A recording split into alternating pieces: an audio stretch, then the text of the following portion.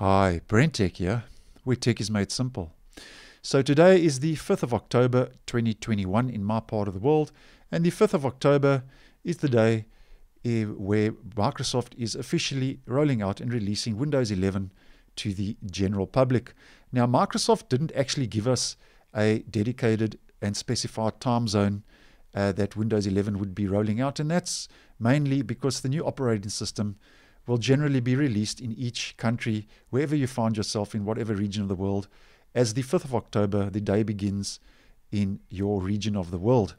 Now, today is the 5th of October for me, so if you have um, or in a time zone where uh, Windows 11 has a, a, already rolled out, and you are running an incompatible Windows 10 machine like I am on this laptop, which cannot be upgraded to Windows 11 and does not meet those minimum hardware and system requirements, um, a lot of users are now seen and and are being informed of compatibility issues with the Windows 11 operating system.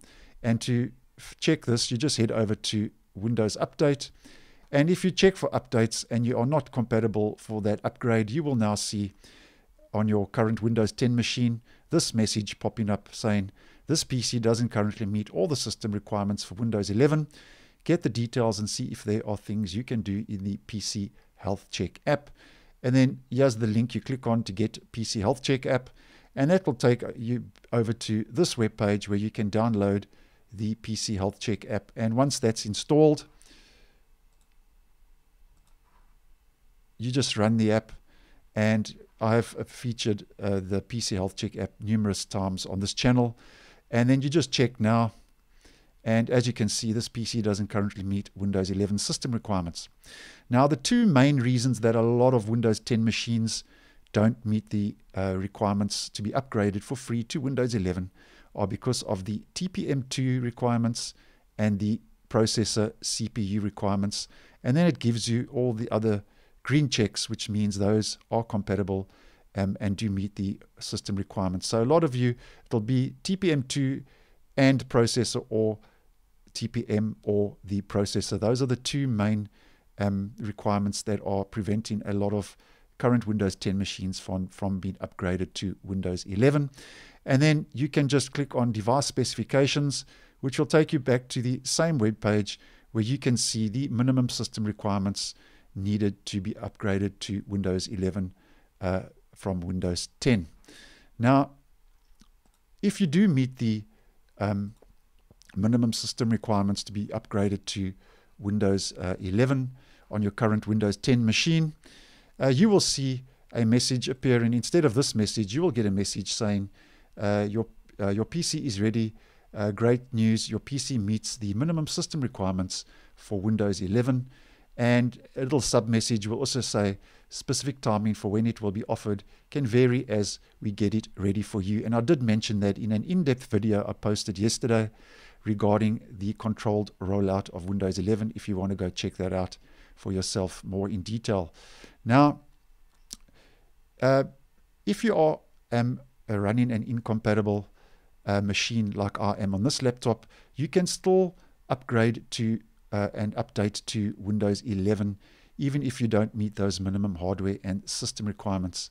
And how we do this is we just head over to uh, download Windows 11 Microsoft software download. This is on the Microsoft webpage, and I will leave a link to this webpage uh, down below if you want to go check this out. And basically, you have two options if you are uh, running a machine that cannot be upgraded to Windows 11 and you want to install Windows 11. You can use the Media Creation tool uh, if you want to perform a, a reinstall or clean install of Windows 11 on a new or used PC use this option to download the media creation tool to make a bootable USB or DVD. And then before you can download the uh, the tool here, there's the download link. And before you begin, uh, just be aware um, that obviously you are not compatible, so you will not meet these requirements they are talking about here.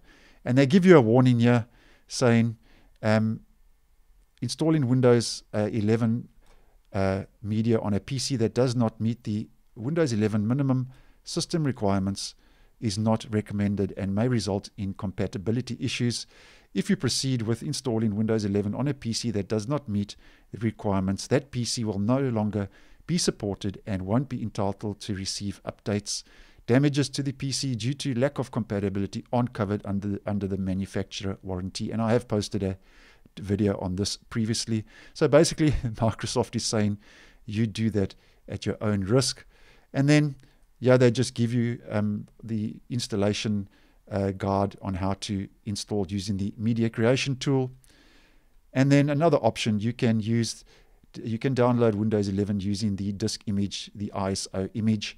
And basically, um, before you begin, once again, yeah, make sure you have, and if you're not compatible, as I say, you can still install it using the ISO image. But once again, they warn you here, as mentioned with the media creation tool, that you will be running an unsupported device.